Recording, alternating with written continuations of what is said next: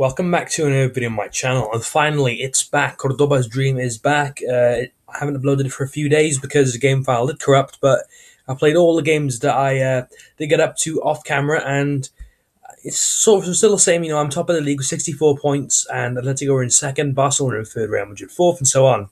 So going into game 26, where I was going to do obviously the day after making the last episode, but obviously the game corrupted, so you know that's why it's been quite a long time since uh, this has been uploaded. But we're going to get into the first game of this episode. I'm playing Getafe. I don't play any play field.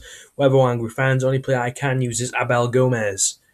Uh, so uh, playing Getafe now in this match. So hopefully we can maybe keep this episode unbeaten. Uh, you know, we're just picking up wins and draws, which would be pretty nice. I mean, if we do lose, we're still going to be top of the league, but uh, we're going to have a little bit of pressure to deal with. We're, going to have to deal with some pressure from the teams below us, like Atletico, who are also in, on some good form as well.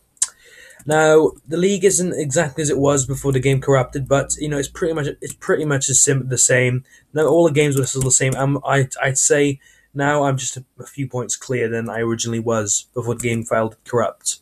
So it won't happen again, which is nice. But uh, you know, things happen, and this did happen. So I hope you did actually, guys, enjoy yesterday's video, which was Hybrid Wars of Miguel. Um, um that's going to be a daily, not a daily, sorry, a uh, every Saturday video. Me, me and Miguel are going to get, you know record a video together and you know try and make a squad in seven minutes like we did yesterday. But uh, that obviously has a completely different video. Now we're, we're going to go into the second game of the episode. We did manage to win that game, nine points clear ahead of Barcelona. We're playing Malaga now, who are 19. So we should be able to win this game, but I'm not going to say anything. We've lost a few games this season uh, to teams who aren't as high as in the table as us, but hopefully we should be able to comfortably beat Malaga, who are struggling in this uh, uh, little run I'm doing with Cordoba, obviously. And the objective of this run is to get a nice top 10 finish for them because they were relegated this year from La Liga. They finished bottom of the league on 20 points. So I decided to give them a, good, a goodbye from La Liga for now, anyway, by uh, doing a little run with them. Uh, and this is going pretty well to be honest. We're doing we're quite we're comfortable inside the top ten, so you know I'm enjoying doing this and also enjoying doing the unbeaten Arsenal uh, little run I'm doing as well. So I hope you guys are enjoying that as well. But this game is full of goals. Four goals being scored so far by both respective team, but we managed to get back in the lead now, three two with ten seconds remaining, and we are doing pretty. Well, we're going to try and hopefully hold hold on to the lead, but it looks like I can't, and looks like we're going to be just sharing points with Malaga, which is okay.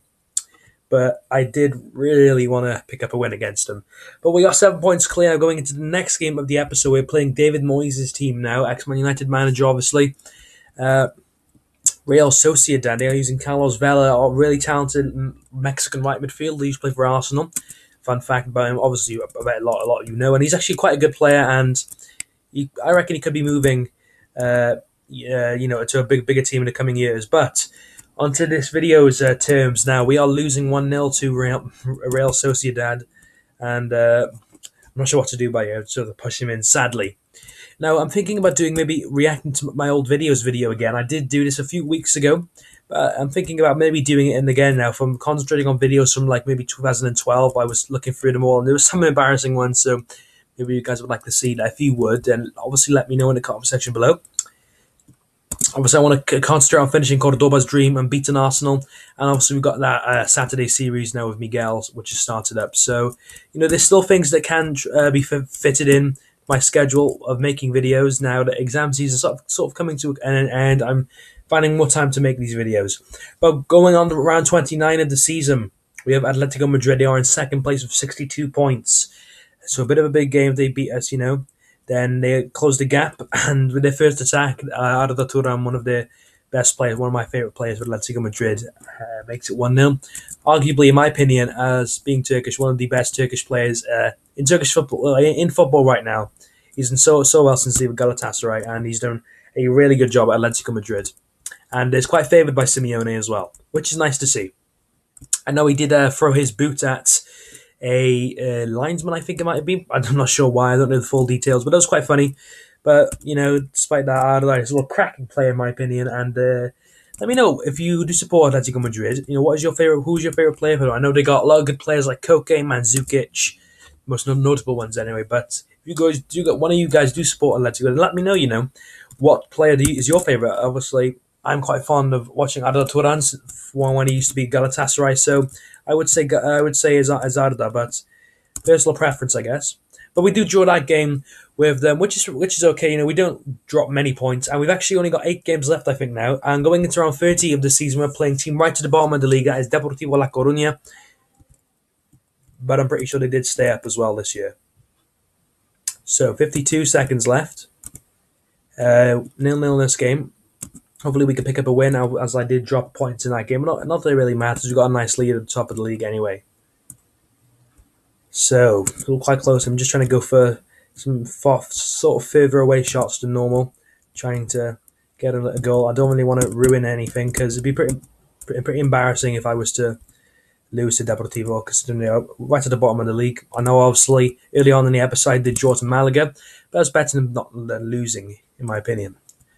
So 2 0 up, so we're doing pretty well in this game, and uh, they've yet to score, which is nice. Hopefully, we're going to be finally able to keep a clean sheet. We've been letting Ingles left, right, and centre recently, so it'd be nice to get a clean sheet. Uh, and I'll, I'll let you know how many goals I've scored at the end of this game as well, because I haven't done that in a while. But we round off this game really well, and we beat them 4 0, and we are still top of the league then. We are 75 points. We won, we've won 24 games, drew 3 and lost 3. I've scored 115 goals, conceded 37, which is pretty nice. Conceded the least amount in the league, which is nice to see as well. So, going into the 31st game of this, ep- well, not this episode, of this season, we are playing Elche in, where are they 10th, which is pretty good. I thought they'd be much lower down the league.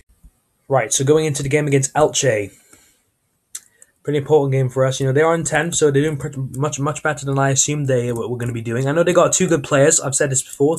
They've got Wellington Silva from Arsenal. I think he's now gone back. I'm not entirely sure. And they've got a right back who I'm quite fond of. His name is Michel so, uh, or Misha, I'm not sure how you pronounce it, but they're the two players I'm quite fond of, of Elche, and I think they stayed up this year. I'm not entirely sure. They might have gone down.